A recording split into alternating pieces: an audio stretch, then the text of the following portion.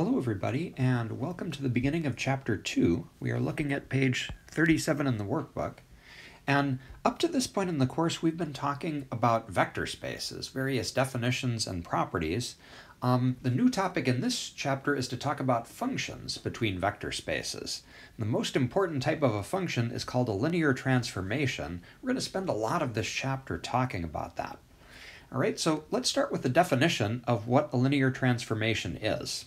Let's read through this together. So let V and W be vector spaces over a field F. Okay, we call a function t from V to W a linear transformation from V to W if for all x and y in our domain V and every scalar c, both of the following are true. Okay, let's read these conditions together. Okay, so A says that if we take t of x plus y, that's going to always give us the same result as t of x plus t of y. There's a name for this property. When a function satisfies that property, we say that it preserves addition. Okay, we can either do the addition of x and y in the domain, or the addition of t of x and t of y in the codomain. Okay, and then B says that t of a scalar c times x equals c times t of x. When a function has this property, we say that it preserves scalar multiplication.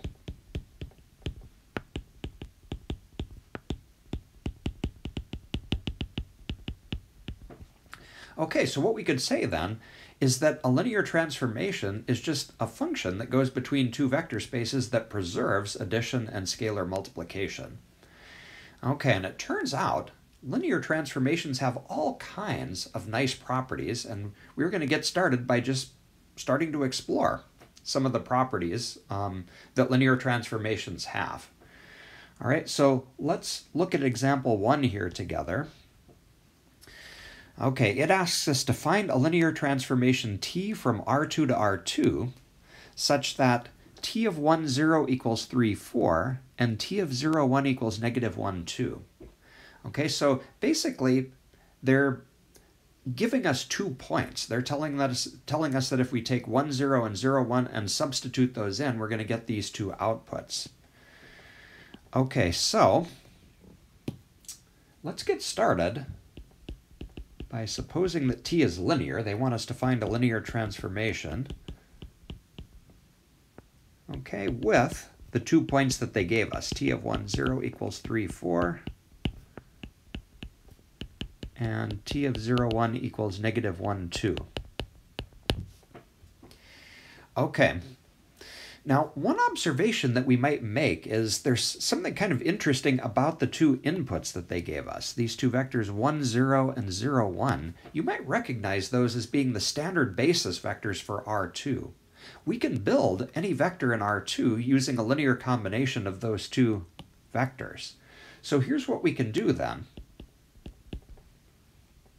we can actually use this as a way to figure out what t of AB is for any vector AB in R2 by making the observation that AB can be written as A times 1, 0 plus B times 0, 1. Okay, and the reason that that is significant is that we made the assumption that t is linear, which means that we can go back up to our definition up here and use the two properties in the definition, starting with this one. Okay, it tells us that if we take t of x plus y, we can split that up into t of x plus t of y. So if you think of this first thing as being our x and the second thing as being our y, we can rewrite that as t of a times 1, 0 plus t of b times 0, 1. Okay, we just use the definition of linearity, property A.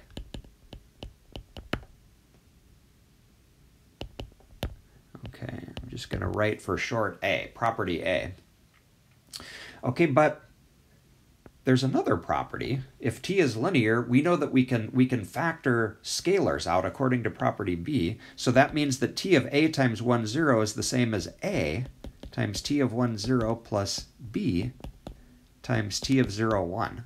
Okay, there we're just using property B in the definition of a linear transformation. Okay, so this is by linearity property B. Okay, but notice what we've done here. we've broken this down to a point where we've got t of 1, 0 and t of 0, 1, and we know what those values are. t of 1, 0, for example, was given to us up here as 3, 4. So this is now equal to a times 3, 4. Okay, and then similarly, t of 0, 1, that's negative 1, 2. Okay, so we'll go ahead and substitute that in. And the last step here would be just to do the algebra on the right-hand side.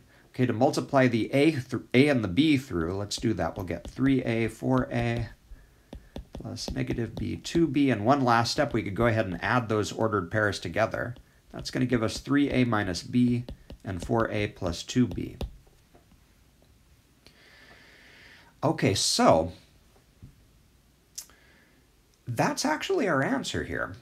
Okay, we, we came up with a formula for um, t of ab.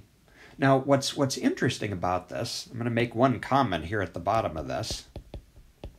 What this argument shows is that there's actually only one linear transformation.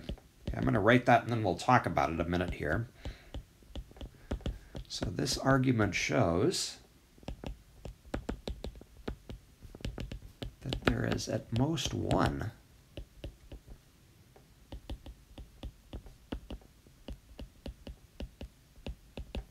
linear transformation with these properties.